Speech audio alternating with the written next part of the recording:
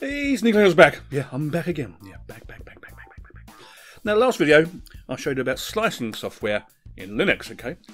And there's actually not much that doesn't work in Linux. There is always a, a package for it, okay? Gentoo, I'm having a bit of a problem, but hey, we'll come to that another time, okay? But there's always going to be a bit of a problem with Gentoo because people just don't port it properly or at all. But generally, okay, you can get most slicing software to work. Okay, so you're thinking, oh, 3D printing's a bit expensive and it's rubbish. Well, both on them, no and no. Okay, so we'll just show you a few here. now, this is one of my printers. This is the Flash Flashforge Dreamer. I'm not sure if it's on the end of the run now, so they may not make another version of this. I did actually pay 795 for mine two years ago. Okay, and it's still going now, still going strong. It's one of these printers that just likes to keep printing and printing and printing without stopping, basically, at the end of the day. If you stop the printer and leave for a couple of days, it takes a good half hour to get all nice and warm and properly set up so it prints correctly. But after that, you can just keep going and going. It runs 24 7 basically. I'll show you a couple of pictures of it here. Look, it's got a nice little thing here, nice little touch screen down the bottom, give you all the information you need. Mm-mm-mm. A good little printer, okay? It's fully enclosed, although on mine, if I go back here, I've actually printed some stuff up here to go under the lid to get a bit of air in to keep it a bit cooler, okay? But the build volume is not brilliant, okay? It's 230 by 150 by 150. That's fine, really, to be honest with you. It's okay. Yeah, it's okay. It'll do most things and most things well, okay? Simplify 3D supports it, as do most of our slices. A good little printer, if a bit expensive, okay? But mm, it's got two extruders, etc. So I paid a bit more money for double extruders. In reality, I could have got away with one, okay? Really, honestly. But hey. Anyway, that's mine, okay? One of the big buzzwords at the moment is this Creality 3D CR10. There's three versions, there's the mini, the standard, and the bigger version, okay? Now this one here, as you can see, is for the US only. Although there is a UK version. So around about 270 to 300 quid, okay? But uh, lots of people are raving about it, yeah? Ravey, ravey, ravey. As you can see here, the control box is over here. You plug your SD card in with your files on, and off it will print, okay? A nice little printer. It seems, yeah, it seems. Not got one myself. I might try one next year. We'll see how, we go, really.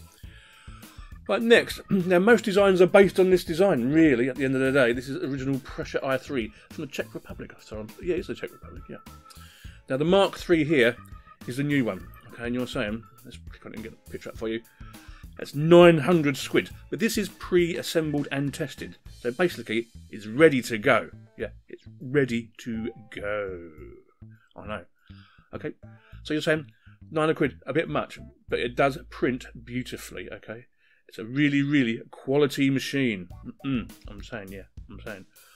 Not sure if I can stretch that though, but hey. So you're saying, yeah, this is really expensive 3D printing. How can I afford to do that? Well, I will show thee. Now, I kickstarted a one ooh, last year. It was called the Hero 101 or 101 Hero 3D printer, and it was 50 quid.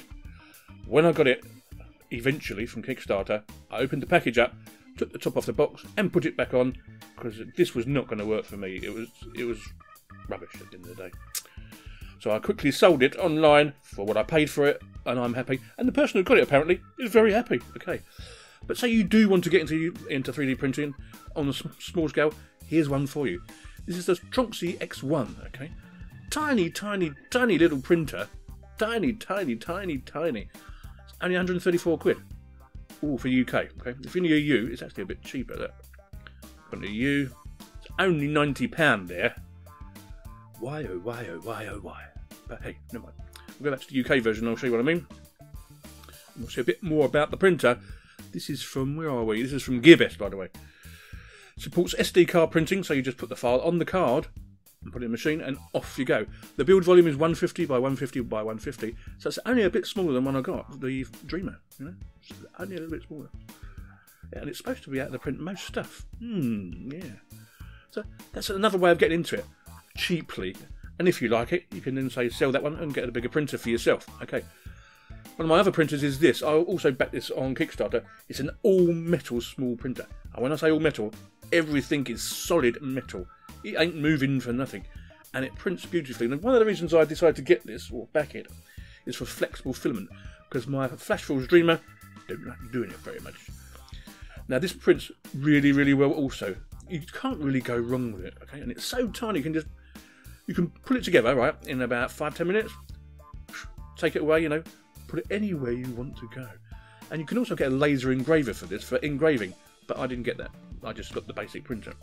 And it will basically print anything, okay? Anything. But it's a small build volume again. It's only 120 by 125 by 125. But it'll do most of the stuff you want. Mine's got a heated bed. Mm, it sure has. And prints beautifully. Now, I got this for around about 200 odd quid. But that, was a year and a half ago, okay? A year and a half ago. So now the prices, if you go back to the Tronxy, they've just come down and come down. But I think 134 quid is about as low as you really want to go for 3D printing at the end of the day. So if you're interested in 3D printing, or 3D printing even, there's a couple of things to look at. You may want to get into it. And the, the uh, price of the spools of filament aren't that expensive. From 12 to 25 pound for basic stuff. Obviously, you can pay more if you want to. Entirely up to you. But give it a go. You may like it. You know, Father Christmas might actually bring you one if you put it on your little letter. I know what I mean. Sneaky little exat. I see ye later. Oh yay, oh yay, oh yay. Oh yay. Bye.